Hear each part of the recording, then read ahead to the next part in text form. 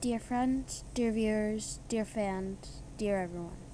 Sorry I was a jerk. I just had so much doubt of how much was left out there. I couldn't see how much you cared, I guess because no one had before. Maybe because I'm young, no one thinks it matters. Or maybe because I'm unknown, then no one really knows.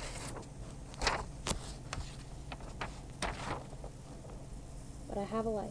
I have a soul. I have dreams. I have a goal. One of them is doing the best I can to make you love me for who I am.